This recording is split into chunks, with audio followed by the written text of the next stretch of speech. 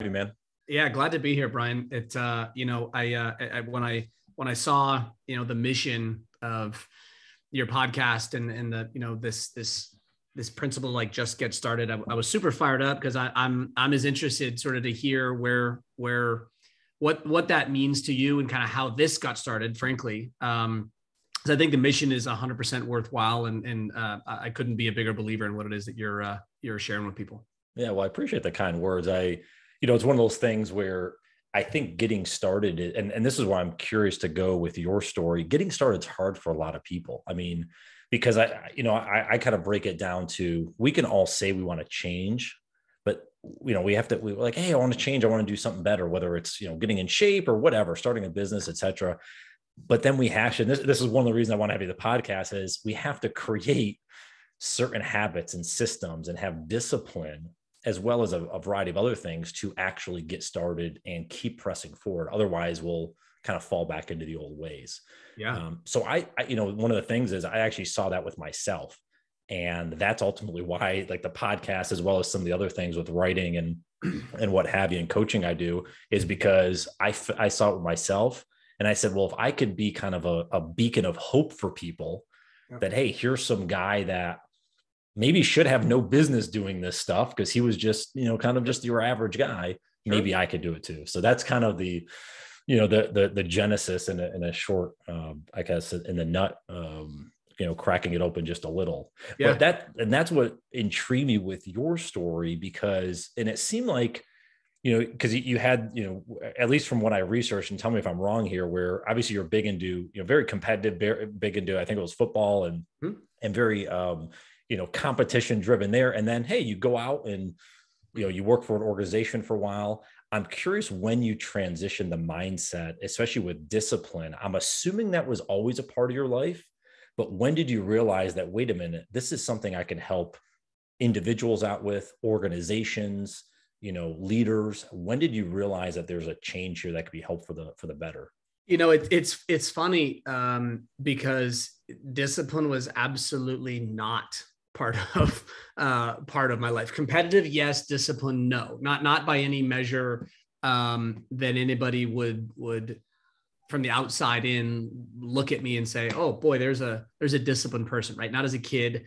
In fact, not you know not as a kid, not as a teenager, not as a, a college student. I competed really hard in athletics, but it wouldn't be what people call discipline, right?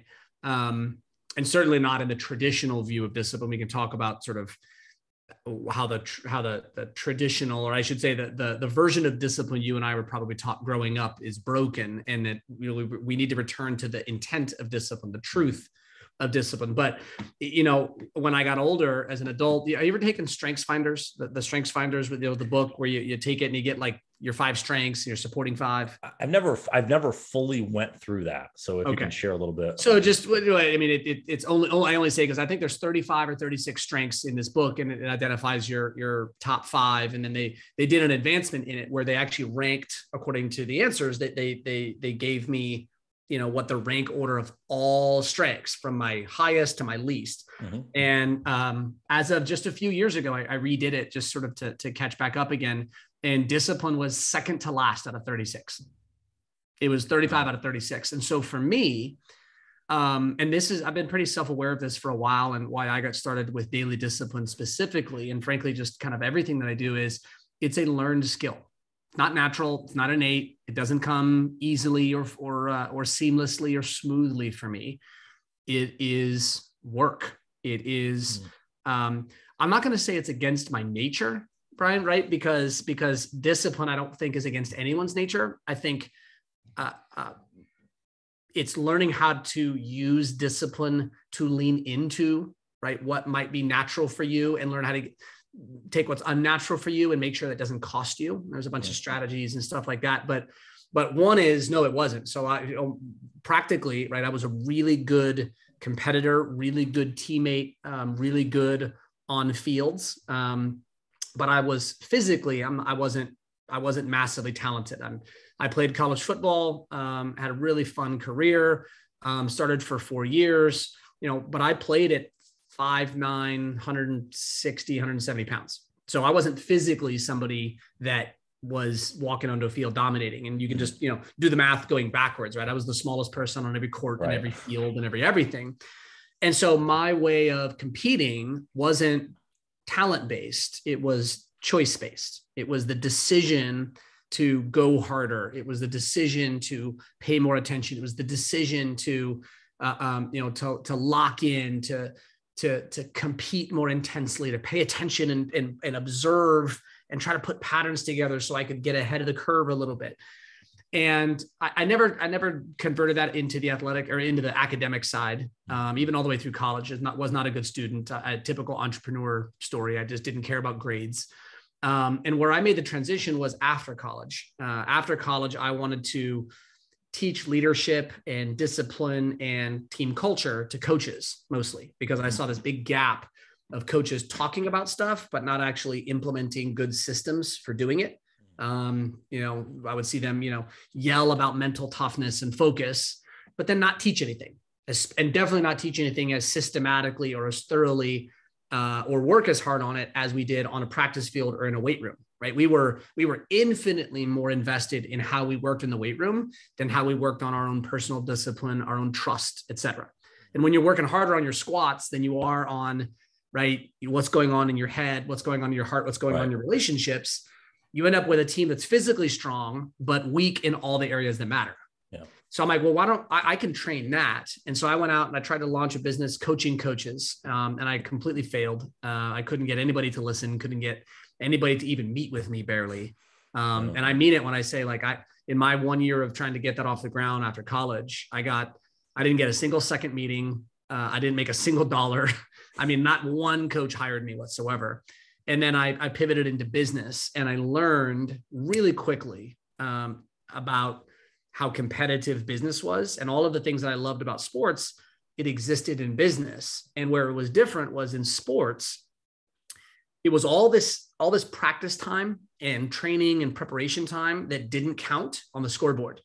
Uh, and again, I'll just speak from football, but you know you can do this for any sport. But in football, you only play a game once a week right? But you have hours and hours and hours and hours of training, and you're doing all this work, but it doesn't really count against anything. So you could you could be at your absolute best on a Thursday or a Tuesday or Wednesday, uh, but if you weren't at your best on Saturdays, right, between 12 and 3:30, right, or whatever, from 8 to 11:30, it didn't matter how good you were on Wednesday. Like you needed to be good on Saturdays. And so it was it was this massive prep time for this very very small scoreboard time.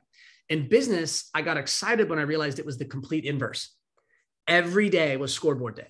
Every day was game day. And you walked in, and every day it was let's go. And then the downside of that was that they didn't allot very much time for training. And so you end up with people who continued bad habits or you know got to you know 50 years old and had risen up the ranks and they were still a very average listener at best and it was costing them you know it was costing them maybe hundreds of thousands, maybe millions of dollars because they couldn't listen to what a client was saying and then connect what they said and what they really needed to the service inside the business.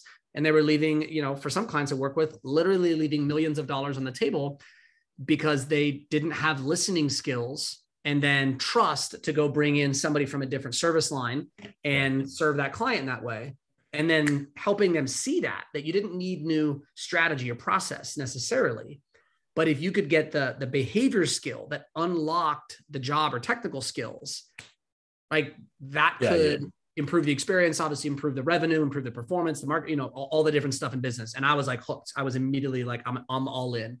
So it took me, it took me probably two to three years post college, one full year of trying to get the business off the ground and failing. And then I'd say another year to kind of get the transition fully out of the, the sports perspective for me yeah. and into falling in love with the competitive side of business. Yeah.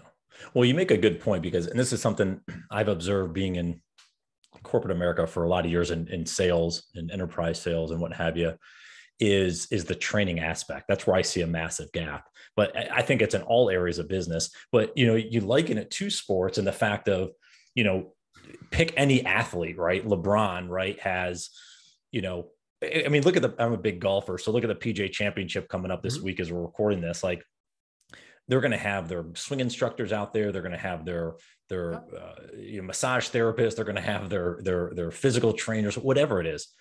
And but yet we don't have that. It's like, hey, go to work, do this particular task or many of these tasks, and then show up the next day and do the same thing. And there's no guidance and coaching to actually improve. And we wonder why people don't get better or why they have the same habits for many, many years.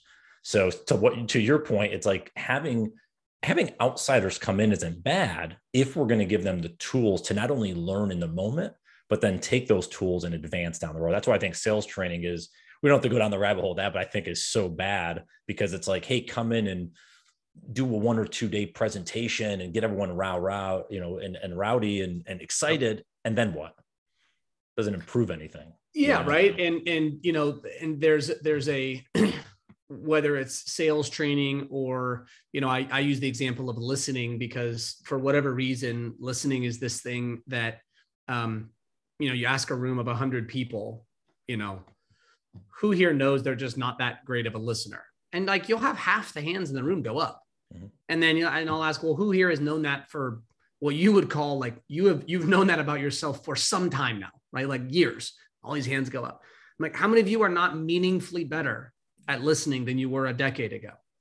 And most hands still stay up. And I'm like, well, look, we've gotten to this spot with training and you know sales is a great example listening is a great example leadership is a great example where we have this abundance of content and information and we've heard so many things before that we've confused having heard something with both understanding it and being able to do it well. And I, i'm not interested in whether somebody's heard something before. I'm only interested in how well they can do it.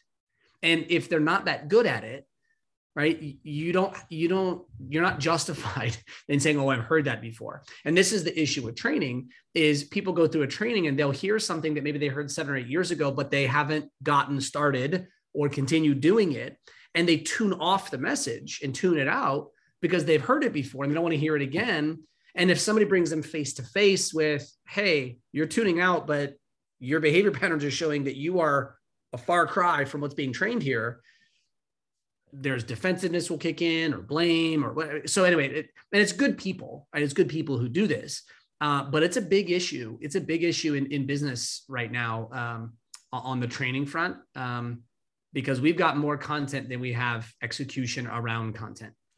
Well, I think this just comes down to human nature in general. You know, we, we see this in our very politicized world. It's like we have these beliefs that maybe we grew up with. And and this is i want to go back to to define discipline in a second because i know that as you mentioned was kind of something from our upbringing. But if you think about it like we have these beliefs and then if anyone pushes up on our beliefs instead of being open and be like okay that's interesting or i'm curious to learn more or yeah let me hear you out we we get defensive the walls go up you know we get in these echo chambers and it's the same thing happens with work in, in whatever field you're in instead of being yeah, open and direct. Right. I, I, the way the way I think about that in my own life, and obviously I think about this in my own life um, all of the time, and so it's of course the standard that I do apply to other people. I don't I don't expect people to share my standard, but it's the standard I apply sort of when I'm observing somebody, like around say something like that, like beliefs. Is uh, the standard I apply to myself is this: like, do I think I am right about everything? Is the first question I ask myself. Do I think I'm right about everything? The answer is no. The answer, is, the answer for me is not just no. The answer is a resounding, of course not. Right? Because if I knew all the right answers, I would do them.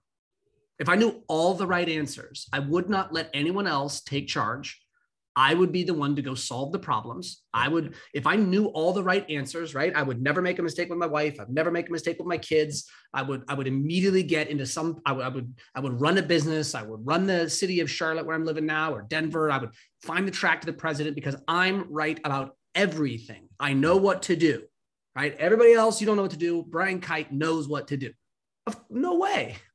Now, I don't let that damage my confidence though because if I knew where I was right and where I was wrong definitively across the board, then everything gets a little more clear in terms of me being able to be decisive. But all right, cut this out, put that in place, etc. So I know that I'm not right about everything, but the hard part is not knowing where I'm off base and where I'm not. The only way for me to figure that out is by going into the world, living out my values, my beliefs, my standards, and then getting feedback from real, actual experiences. Yeah. And when I get feedback that bumps up against, hey, I'm going to go live this out. I think this is a good strategy. This is a good way to do this. This is a good way to parent, or I think this is the thing I need to say to my wife right now in this moment. And then I will get feedback. Yeah. And if we're not open to that feedback, if we're not receptive to that, like say in this politicized environment where everybody has these beliefs, well, I know you bump up against something and and you you see this all the time, not just politically, right? But you see this with everything. We get, and we know this about human nature now in particular, cognitive dissonance being the term. You have a belief, you have a, a, a way you think the world works, you live it, the world gives you feedback that that doesn't work or your perspective is off base. Yeah. And then rather than change our belief according to the experience and the reality, we will literally try to minimize or change reality right. Yeah. to fit our belief system. Right. That's exactly and right. I, I, I just fundamentally don't believe in that. And i and, and for me what that's rooted in it's a, it's a term that I, I i started coining a while ago or, or i i say coined whatever i just started using it and people kind of latched onto it called aggressive humility.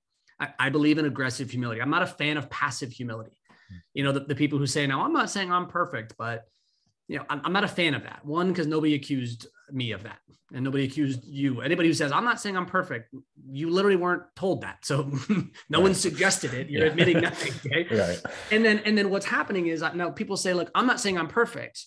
And then when presented with their imperfections and the consequences of it, they get upset, defensive, and offended. Yeah.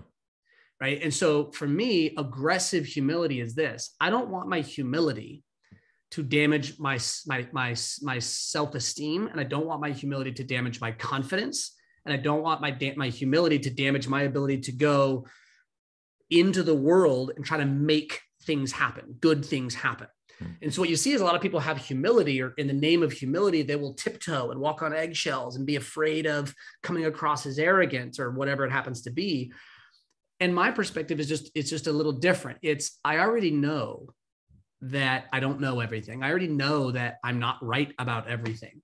But because I don't know where that all is, I've got to go out in the world and test what I believe. Yeah. And that means I have to go out and do it as best as I believe, as best as I can. So if I think X, I got to go live X confidently mm-hmm. and somewhat assertively, right?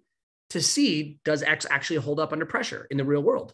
Yeah. And if it does, awesome. But if not, well, then guess what? My belief in X was not on a great foundation. And I'm going to figure out through experience where I need to change it. And that aggressive version of humility keeps me in this really healthy space, I believe, of, of trying out and testing what I believe, but also making sure that I'm on tr- my beliefs are on trial, right? Like my beliefs yeah. have to actually stand up to scrutiny and pressure when it's hard. And so being aggressive about that in my mind is, is a great way to live out humility and not kind of passively wade through life, so to speak.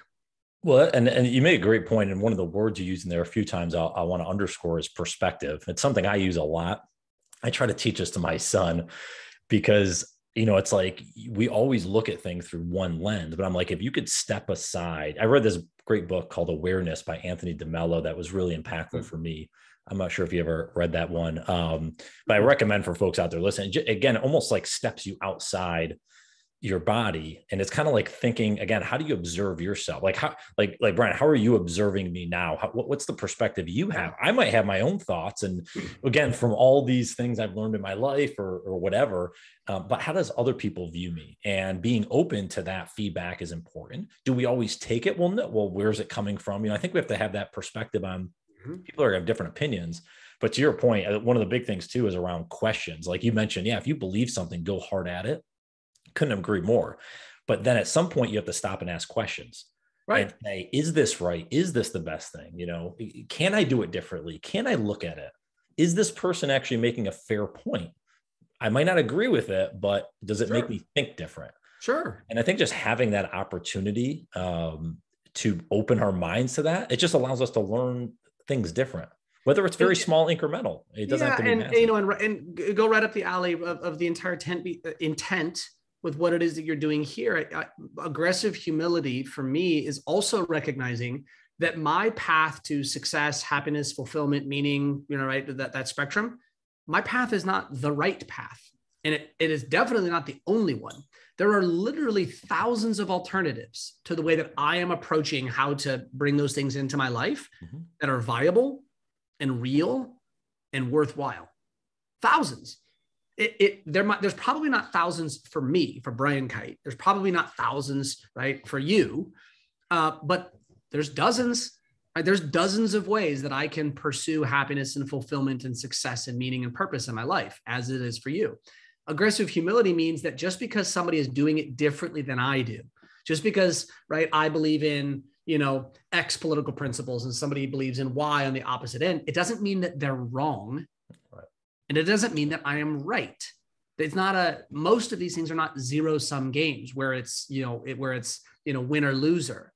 It's like there's elements of truth in all of it, and there's also right there's elements of cost right? I mean, I think one of the one of the really one of the really cool pieces. I want to pull too many threads here, but you know, the other piece that it goes with aggressive humility and beliefs, since we're on the topic, is um, really two. I, I put two things together. One, there are no directionless decisions, and number two is there are no painless paths.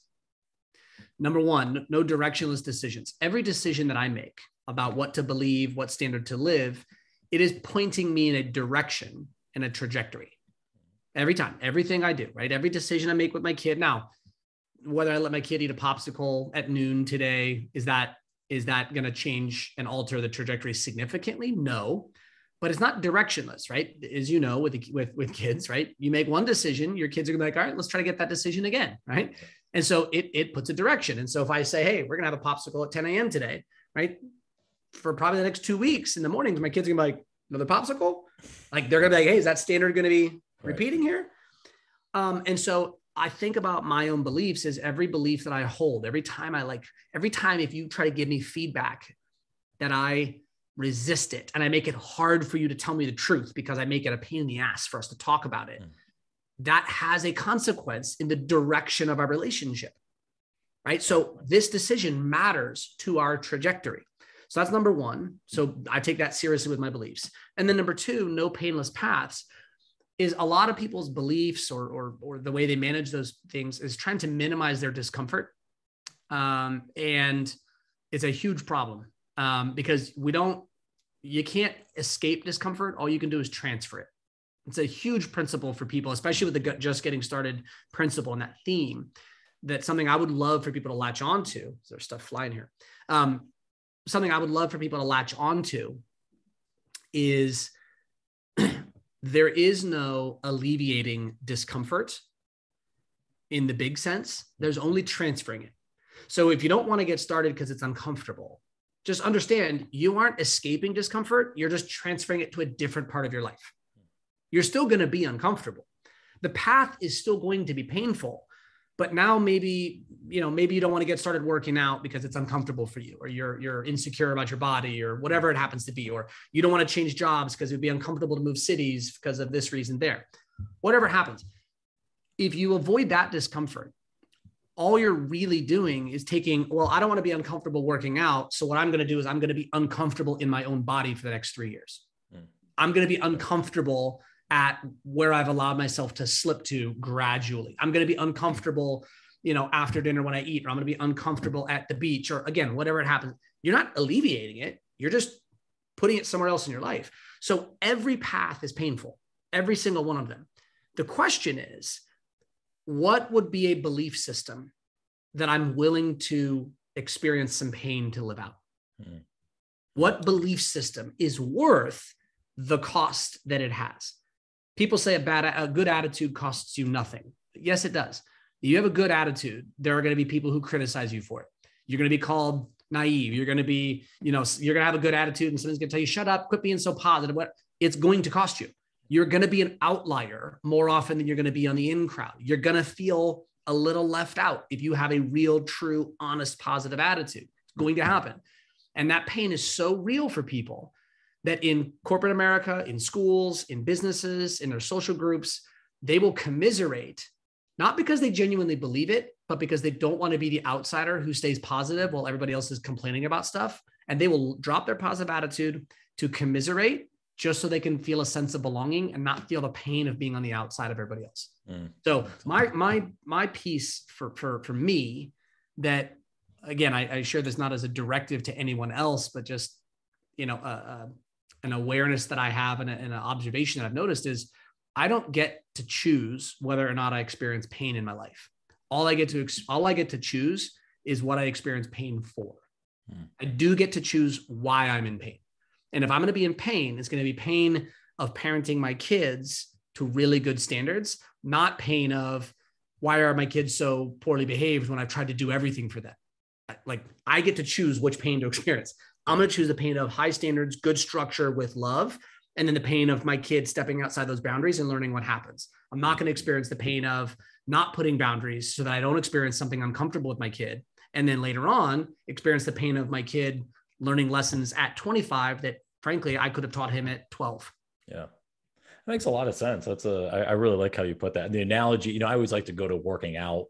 I think it's just the simplest analogy for most folks. It's like, yeah, there might be discomfort into showing up at the gym every day or going out for a walk or run. Of course. But yeah, the discomfort of maybe feeling, you know, if you're unhealthy, maybe feeling bad or not getting enough sleep or being sluggish like those are discomforts that happen over time because of that so it's kind of yeah you make that choice to, to or not being able to get off the couch when i'm 60 right yeah. like being like oh I, I have to move slow or man i can't i can't take my grandkids you know to the zoo because it's just kind of harder for me to walk because my you know my hips aren't that strong like you know i turned 40 last week um and so it's like you know I'm looking at it like it's not, I'm not out here to perform something per se, right? Maybe yeah. on the golf course, right? But, but I'm not trying to set records or PRs. I'm looking just saying, you know, I would much rather go through a minor discomfort with purpose today than have to deal with the discomfort of being weak later in my life and then having to recover from it. Yeah. I'll just I'll go through the pain of staying in shape, not the pain of getting back in shape, right? No, that's a great point. Well, and that's actually, you know, maybe circles back around to discipline. Yeah. Um, all, all, roads lead back to that because one of the things I was thought about leaving or coming into this conversation was just around the delayed gratification. Mm. Generally, like what you just mentioned there, a lot of those things, even with even with kids, as we know, yeah, you might have to make what are tough decisions. They don't like it, they push back on you, but you know in the long run that's going to be better, or at least you would think it'd be better based on all the knowledge you have. But that's delayed gratification, and a lot of times if we make the mistake of the short term gain that ultimately leads us down the wrong path. So if we can chat about discipline for a minute, can you let, us go back all the way to the beginning of our conversation and define if you define discipline and maybe because I'm 39, so I'm similar kind of older millennial like you. How did we learn discipline growing up? What's what was yeah. that definition and how is it should be different or thought about differently? Well, let's I mean let's do this. I mean, did you play sports growing up? I played some, yeah. Yeah. Okay. All right. Yep. What sports did you play? Played basketball. I was a big golfer. Okay. Um, yep. Cool. So and did you grow up in Carolina? No, I grew up in New York, upstate New okay. York. Okay. So so when you think about sports, school, parents, authority yeah. figures, right? Whatever authority figure you experienced in your upbringing, you got some combination of, you know, sports. I'm not sure what else you were involved in, but you got some kind of sports, some kind of school, right? Some kind of parents and any others. Um, and at 39 years old, like what what was the understanding of discipline that you gained by the people who taught you discipline, whoever they were? What was the understanding that you had? The understanding was, you know, keep your ass in line or, or, you know, you're gonna whatever, get in trouble, do your homework, do, you know, you know, whatever, don't, don't pop off at practice or don't whatever. Or again, right. and generally I think that, you know, I think not only my parents' generation, but my grandparents' generation was that hard nose, you know, you're, you're, you know, you, you not only have to grind, but like stay in line. Don't don't ever pop off. Don't ever do anything. Yeah. I would say yeah. that's kind of my. And then and then when they would and then when they would particularly say in athletics.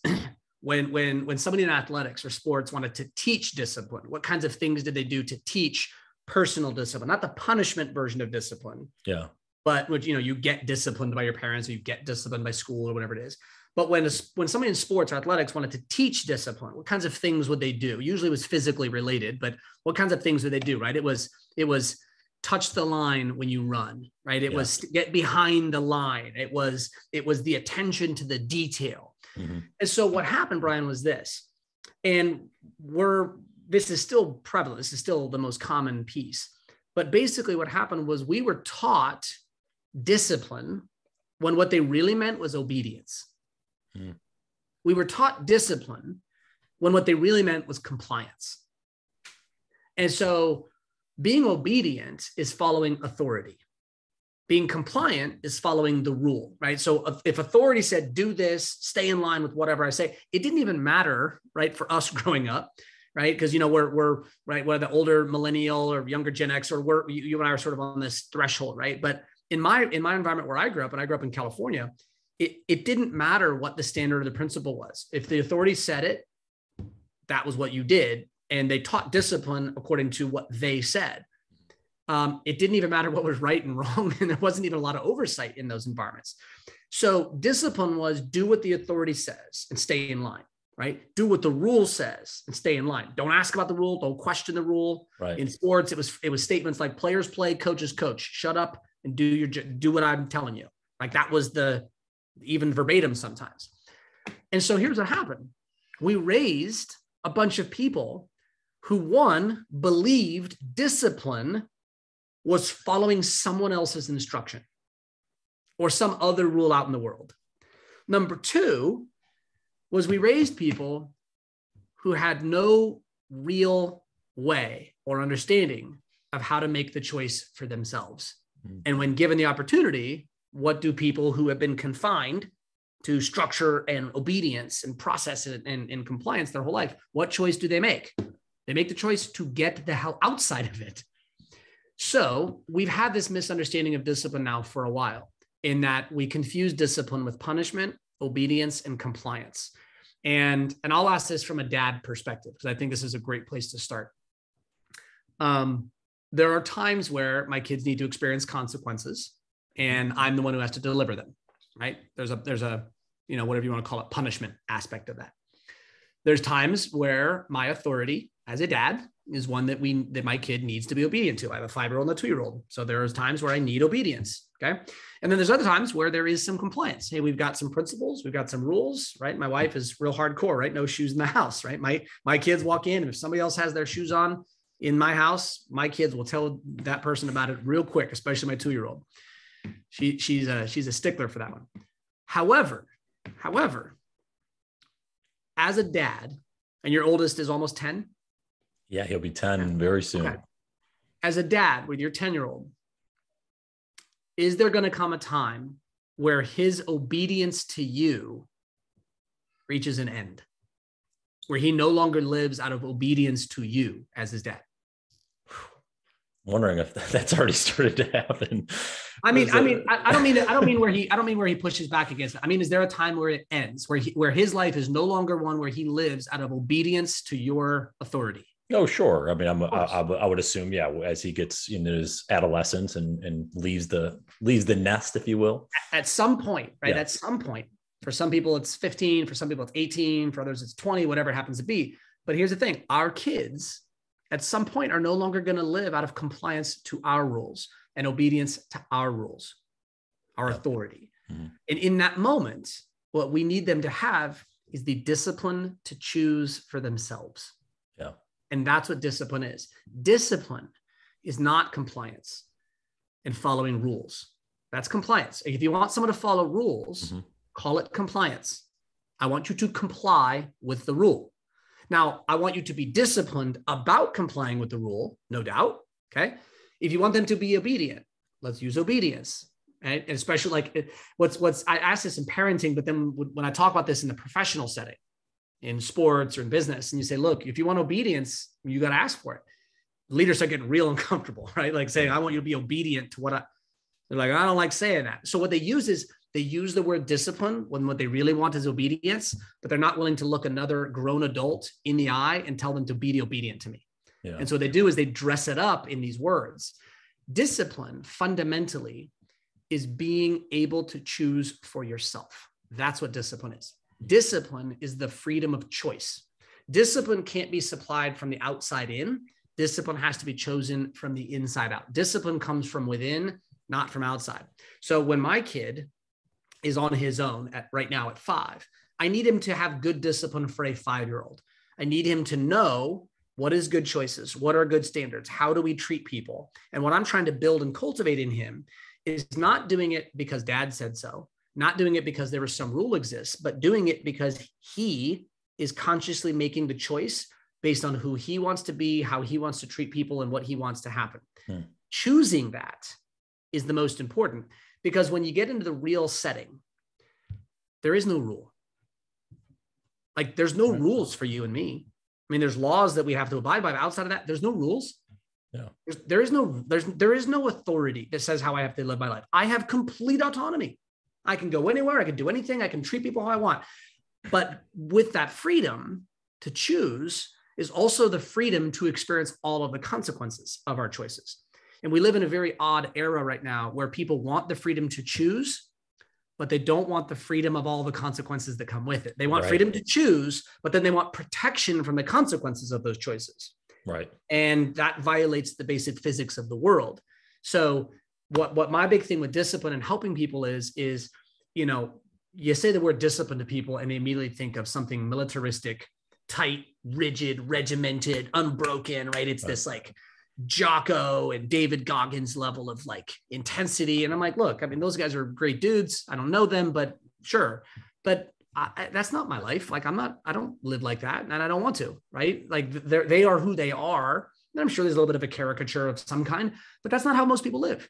Most people need good discipline for who they want to be and where they want to go, meaning they can't be looking to an authority or a compliance or a rule or feel like they're somehow being rigid. But when we learn that discipline is being able to choose for yourself yeah. and that there's a spectrum, it's not yes or no, it's scale of discipline, right? I can I can be, and again, just kind of yeah, you think about numbers, think of one to 10, plus one to plus 10, minus one to minus 10. I can be plus one discipline, which is, you know, not doing the not doing the the the more dysfunctional thing or not doing the thing. Like It's just whatever. I got out of bed early. I didn't do anything productive with my time, but I got out of bed early. Yeah. Okay, cool. Um, I I uh, I didn't eat cake. Now I didn't eat a great healthy dinner, but I also didn't eat dessert. Is that great discipline? Probably not. Is it going to have massive product? Probably not. But what? It's not a minus, right? It's plus right. one. It's good. It's, it's fine. Like that plus one works. That's a start. It's better than minus one. It's better than mm. minus two. And then there's plus 10, right? Which is the all out, maxed out level of discipline, super intense. And we don't live at plus 10. But most people, when you when you talk to them about discipline, they think and feel in terms of plus 10 level rigidity, inconsistency, and unbrokenness. Yeah. And what I want to open people up to is really this two, this two-pronged piece. Discipline is simply choosing for yourself according to the purpose and the standards that you want. And then like believing in that and saying, look, that will take me in a good direction.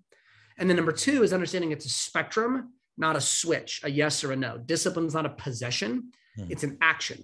And so I can act on this scale of spectrum on the plus side, or I can act on a scale of spectrum on the minus side, right? So I can, if my wife asks me a question and I just blow her off, right? That's probably a minus one, minus two.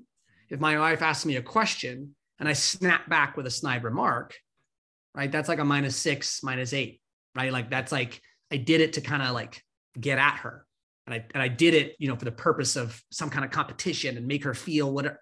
Boom, that's a minus. And I know in that moment. Now, if I recognize that, have self-awareness, and I come back and I say, hey, you know what? I'm like, I snapped at you today and I was super frustrated, annoyed, and like you had said this thing and it hurt my feelings yesterday. And I'm like, I just recognize that like I literally just said that today to get back at you. And that is not who I want to be. Boom, plus five, right? Like we're snap right back up. So yeah. this is real life, right? It's not like I'm not living in discipline zone. Yeah. I'm choosing moment to moment where to be on my scale of discipline. And every moment refreshes anew. And, and so it's not a spot where we arrive. I am a discipline. I'm not a disciplined person. I'm only disciplined when I'm choosing discipline myself and then acting on it. Yeah. Make sense? No, yeah, it makes a lot of sense. Yeah. And I, I like that approach because yeah, instead of putting that that goal out in the distance of like I want to be more disciplined, or is it kind of the same? You know, maybe maybe the the cousin of that is I want to be more consistent. Okay, consistent at what? Like what? And and and and how often? And what you know, like what does that mean actually? And and putting a definition around it of what does it mean for us? Yeah, you don't have to be Goggins esque, but at the same times, like Goggins is he he he his discipline level is different than most people's, but that's yeah. for him. It's Correct. recognizing what is for us and in, each of us. Um, and I think partly too is recognizing.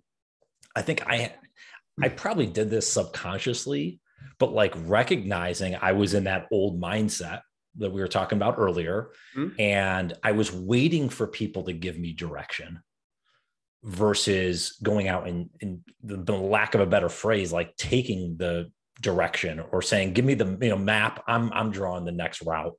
Like I was always kind of waiting for people to do something or hey, let me, yeah, let me partner up on this almost because I was uncomfortable in doing it myself and forging. Mm-hmm. But once I changed that mindset, and it took a while, it allowed me to, to your point, was like, let me choose each time. And if I keep showing up for the person I want to be in the future, I'm going to make better decisions and ultimately I'm going to forge a better path, you know? Yeah. And, and, you know, you, you said it right because not only do we sometimes wait for permission or instruction or whatever, but a really sneaky way this shows up for a lot of people is um, they're waiting to find the right answer in another book or read one more site or get one more plan or look for it in the strategy that they choose it doesn't matter what strategy you choose.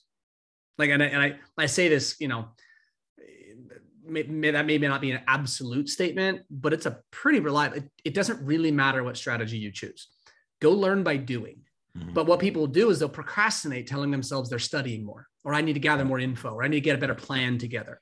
And all they're doing is slowing themselves down. And I'll give you this principle that that I realized in the midst of this process. Again, as an undisciplined person, like by nature, discipline, like, you know, I was always willing to make choices, but my choices, my, my wiring is more impulsive, right? My wiring is, is, is more um, spontaneous and free flowing. It's not, I don't have a natural structured. Um, I've got clear standards, but I'm not structured in the typical way that that you would that most people would think of a disciplined person.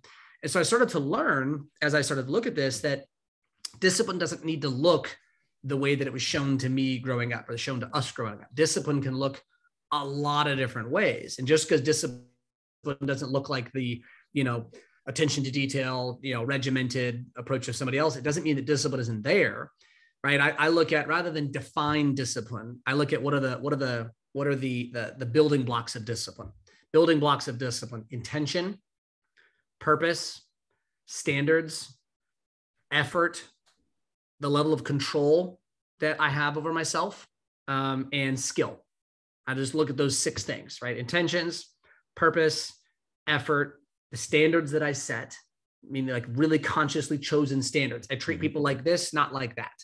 Um, I, I, I, I, uh, I, I, I um, in our house, we do this, we don't do that, right? We interact with each other like this, not like that. I, I, I treat my body like this, not like that. Just setting standards mm-hmm. not because you said them or a book said them. I set the standards for me, right? right? Um, and then and then um, uh, the the level of control I have over myself, and the skill that I actually build in it. And if I hit those six, I just look at those six things, and as long as I'm really clear, right, or at least directionally clear on on on a bunch of those six, I know I'm at least on the plus side, and I can mm-hmm. go. Just yep. get on the plus side. But what'll happen is people will be, they'll want to be 10 out of 10 prepared and they'll want to know what the next two years looks like. And if they don't feel 10 out of 10 prepared and what the next two years look like and that they've satisfied everything, what they'll do is they'll live on the minus side until they feel like they've satisfied everything on the plus side. Then their gap will be too big. They'll feel intimidated by the journey and then stop. Yeah. So I realized this principle and it's huge. Discipline is the shortcut. Think about this for a second. Hmm. The fastest path between where you are and where you want to get is the path of discipline because every other path will take longer. Now, the shortest path, I say shortcut, right? The shortcut and the shortest path, depending on what it is that you're trying to attack, it may be two years. It may be two years of work intensely. If you're disciplined, that's the shortest possible path that could exist. Yeah.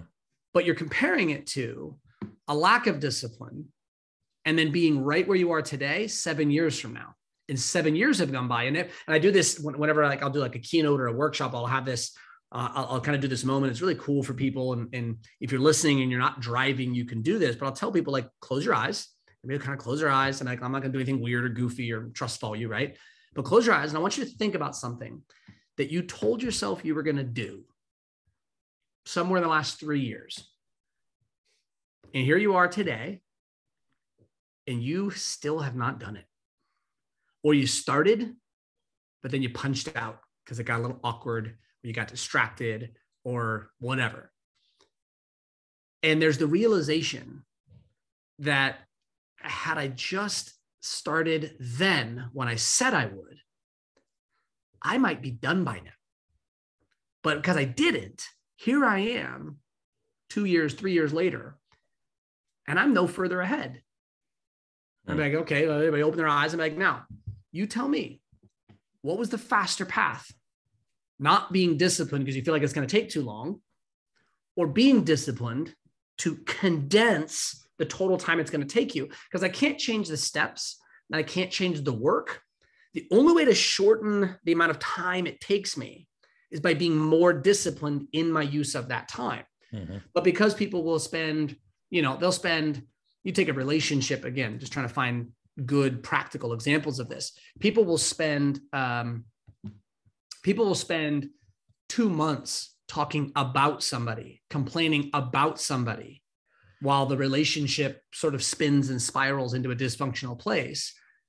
Um, and then they'll avoid the conversation for another month. Now they're three months into this, you know, mental and emotional relational turmoil, right. so to speak.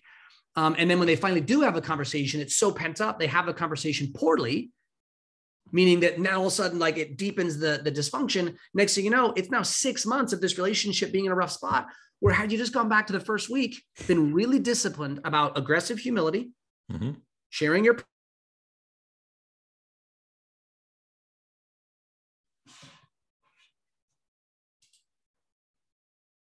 I love half the stuff about you unbelievably. Love it. Right. These are the things that are kind of causing me issues. Yeah. You could have solved it in a week. Yeah. Right? Pretty it's pretty crazy when you think of it like that. That's uh that's I like that that kind of spin on it of it yeah. is it is the shortcut, you know, if you really think of it in those terms for sure. And and so here and so here's the sort of the last kind of the last sort of I'll, I'll give you kind of two hook points because I, I, I find people ask about what do you mean by shortcut, right? And it's kind of a word like somebody like there are no shortcuts. I'm like, well, if there's a longer way and a shorter way, yes, there is. Um, yeah. And there are longer and shorter ways, right? You know, I'm, I'm, working on, you know, I'm working on becoming a scratch golfer and I'm at like a 10 4 right now. And so, you know, discipline is a shortcut. You know, watch how most people practice golf. They don't practice golf in a way that is going to actually bring them closer to being the golfer that they want to be because they practice really poorly with lack of discipline and they play with lack of discipline. And so their golf journey is this really long where they're 15 years in and they're kind of the same golfer they were, just with a little bit more touch or whatever. But I'll, I'll give you the give you the, the the the two hook points that mentally and emotionally people have to navigate, and I think this is our fundamental challenge in life, and it's probably at the root of you know of everything that you're you're pushing forward to the forefront of people's minds with this podcast is this. Discipline is the shortcut asks us to hold two things simultaneously. And that is it asks us to hold urgency and patience at the same time. And the time frame is really where we need to get this. Urgency is in every 24 hours. Every 24 hours is best lived urgently, right? Not anxiously, urgently living out our belief systems, our standards in pursuit of our mission, but only in that 24 hours of capacity. Patience exists over 24 months. And that is allowing 24 months of urgent days to contribute to what can be done in right whatever 365 times 2 is probably a number i should know right in 24 months. So i call discipline is the shortcut for me. The framework is what i call the 24 by 24 strategy. 24 hours of urgent focus matched with 24 months of patient vision and not treating them like a teeter totter. Meaning what? What happens in people's minds when their urgency goes up, Brian? What direction does their patience go? Yeah, down. There's this yeah. belief that to yeah. turn urgency up, I got to turn patience down. Okay. And then what about the alternative where people say, oh, I'm going to be really patient and they turn their patience up? What directions their urgency go? Yeah. Yeah.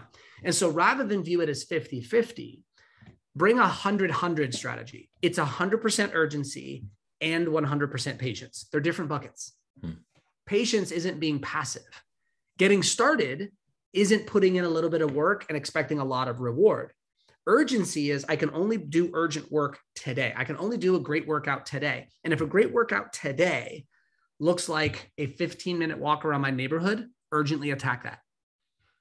And I can't do, right? We're recording this in May, right? I can't do June's work in May. Right. I can't do September's work. I can't do next May's work now. All I can do is today's work right here. And that's the urgent side. And then I believe this if I just allow that to add up over the next 24 months, which I'm going to be here because there's only one scenario, there's two scenarios. One, I'll be here in 24 months. Yeah. So I'll get there at the same pace as everybody else. Or two, I won't be here in 24 months. Yeah. But if I'm going to be here, I don't, that time won't go by any faster. Yeah. So I might as well use this urgent day, knowing that the future day will arrive no matter what I do. Yeah. I can't get there any quicker. But what I can do is change the urgency with which I live those days so that when I arrive at that day, my product, right, is better than maybe the next person who didn't put that urgency into their days. Not because I'm always competing against that person, but I just don't want to reach somewhere later in life and then be like, oh, dang, I had all those days. I just didn't use them well. Yeah. Which is what that's just that's that's the part that people get to look everybody's had that experience. I've had it you've had it where you're like oh dang like had i just done it then i wouldn't be yeah. feeling like this now. And that's that's for me that's discipline is the shortcut. It's not anything extravagant. It's just that day's focus that day's purpose that day's work that day's standards. That's the only thing we have to win is today we'll be wherever we are in two years based on how we manage that hmm. That's a great. Uh, let's put a pin in that for now. Maybe have you come on for a part two here down the road. Um, I, I, really appreciate it. this. Is a, a, great conversation. Where can everyone find you online? They want to say hello. Any any shout out to a spot? Yeah. So so um, uh, two places. Um, obviously, you can find me on on social um, anywhere at T Brian Kight. Uh, my first name is Timothy, so I had parents who named me one thing, call me another. So the T Brian Kight is you can find me on social. And then uh, I read an email uh, every morning called Daily Discipline. It comes at 6 a.m. Eastern time. It's free Monday through Friday. You can get that. And then my uh, my main website that's at dailydiscipline.com. Easy to sign up for. And then uh, and then my main website is tbriankight.com. Awesome, Brian. Thanks so much for joining me. This was a lot of fun, and uh, look forward to keeping in touch. Yeah, same here.